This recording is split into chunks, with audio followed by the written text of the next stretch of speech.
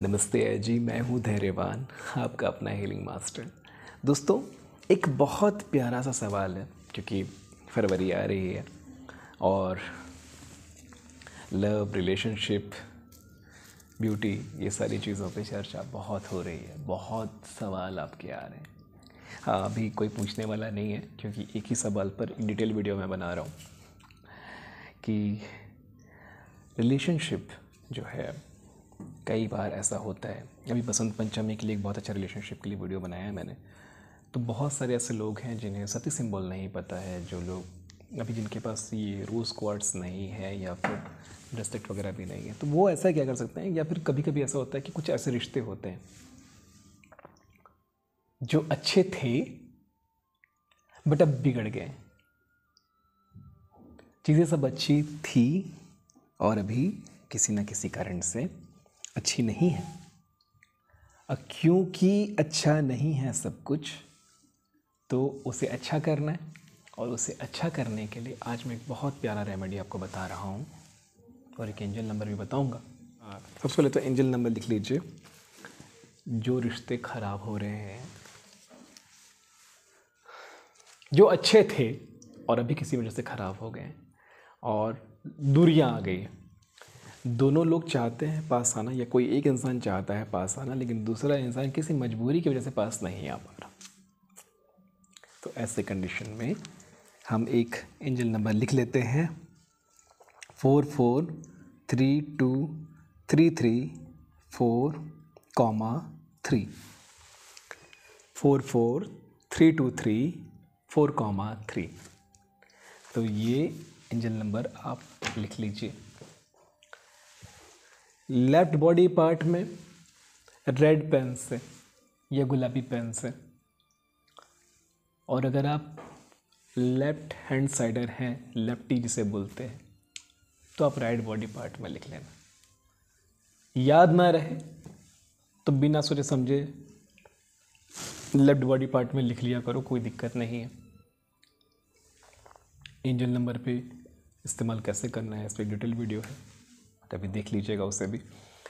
ये रेमेडी समझना बेटा कि गुलाब का फूल अपने अंजलि में रखिए। जो लोग हीलिंग नहीं जानते हैं, उन लोगों के लिए है। गुलाब का फूल अपने पाम में, दोनों अंजलि में रखिए। और तीन कपूर रख लीजिए। हीलिंग सेंस की बहुत ही शानदार रेमेडी है और सबसे अच्छा काम करता है ये वसंत ऋतु में, ठंड के मौसम में। जब बारिश, ठंड जैसा मौसम बना होता है ना, उसमें बेस्ट काम करता है।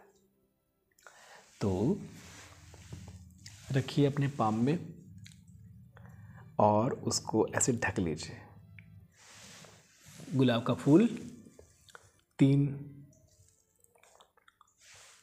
कपूर ढक लेंगे ऐसे और अंगूठे से दबा देंगे।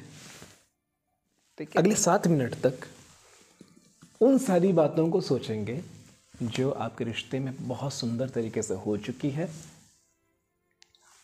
या जो आप चाहते हैं कि आपके रिश्तों में वो सारी चीज़ें हो।